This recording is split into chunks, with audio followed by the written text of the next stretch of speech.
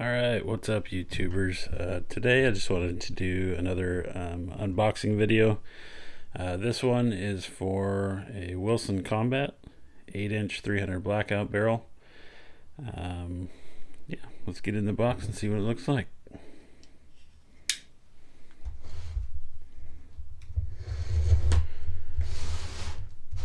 So I didn't originally uh, think I was going to be using a Wilson Combat barrel.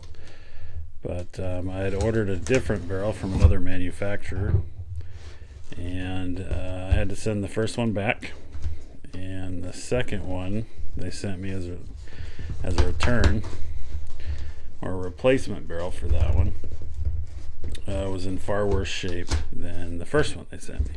So I just decided to uh, ask for a refund, which they say they're going to do.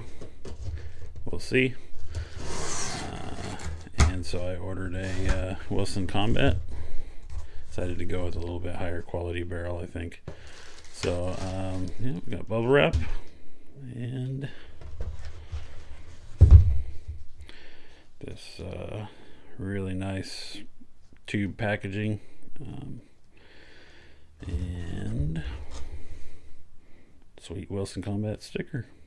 So, yeah, so far, liking it. Go ahead and open the tube here.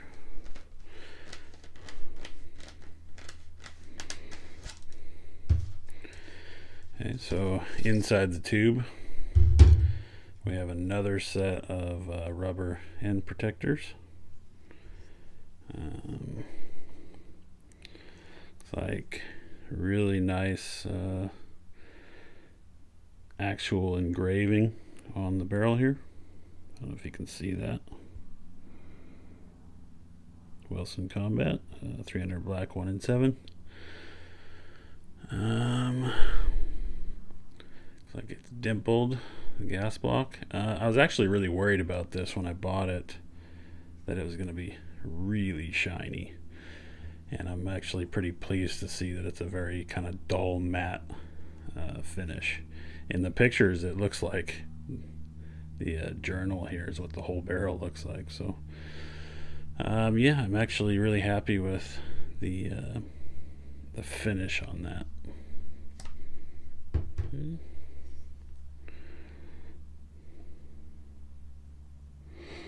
So it looks like this barrel uh, may be serialized. Um, that's pretty cool. Uh, so far, the machining looks really good. Um, pretty impressed.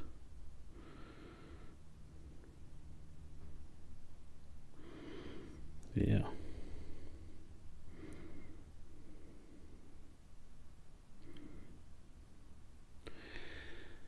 Yeah, so far I'm really, um, really ecstatic about the uh, quality um, finish on this and the way it looks. Um, Gonna be excited to see how it shoots.